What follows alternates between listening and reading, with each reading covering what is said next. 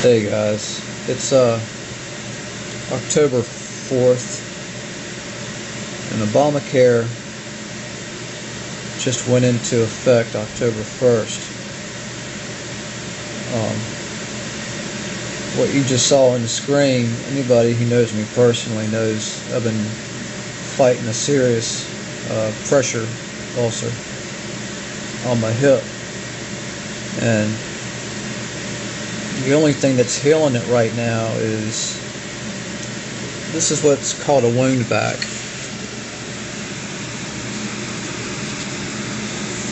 Um, it provides negative pressure to the wound area um, and increases blood flow. Um, so it's a medical device. And um, the only insurance I have is Medicare. And anybody who knows me also knows I don't believe in coincidences. Um, I'm not going to heal without this vac.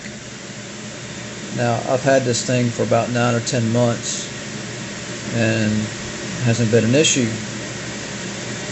The day after Obamacare gets implemented, the nurse who uh, comes in uh, changes the dressing on this thing. She told me today she got a call yesterday from the company, KCI, and uh, they were wanting to uh, basically take my vac back. And she asked them why. And they take measurements of the wound, and if they don't see improvement, then they discontinue the therapy. Well, I've been improving and either there was miscommunication or fabricated numbers. They called her with a set of numbers that were not the measurements of the wound. And so they were wanting to discontinue and come take my vac back, which wasn't the case. Uh, she gave them the most recent numbers. And uh, but I'm just I'm making this. I want to know if anybody else on Medicare has ran into any problems with medical equipment, um, whatever it may be, or services, since Obamacare was implemented. Um, I don't believe in coincidences, and with this happening a day after Obamacare goes into effect, it seems to me that there's probably new rules and guidelines, and they're looking for any excuse to jerk this thing away from me because it's not cheap to rent this out.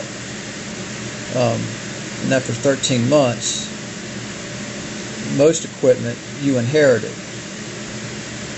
So uh, they know pretty soon they're going to have to give this to me unless the therapy does stop.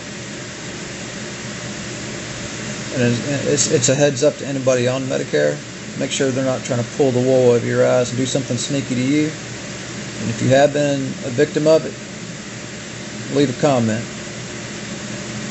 And uh, fortunately, my caregiver straightened them out. And they got the right numbers now.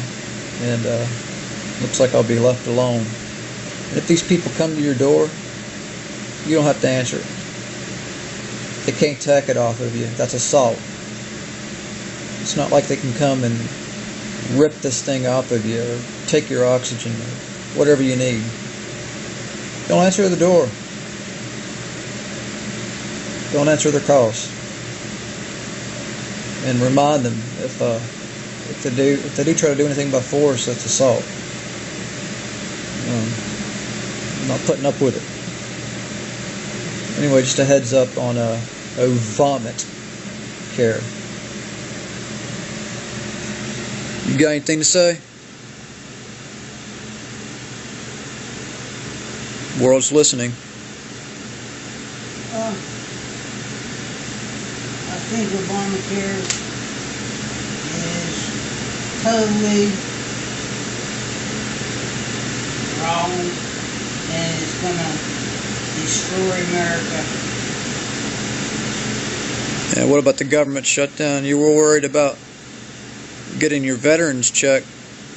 That's, um, He's disabled. He was disabled from the Air Force. American, U.S. That's my pop. Hate to put you on the spot, but I'm pissed. You know, do you think it's coincidence? Do you think it's coincidence a day after Obamacare that they call uh, they call the home health agency and say, Bubba, Bubba, oh, we got some wrong, we got some dimensions that don't look so good. Uh, we're gonna come take you back.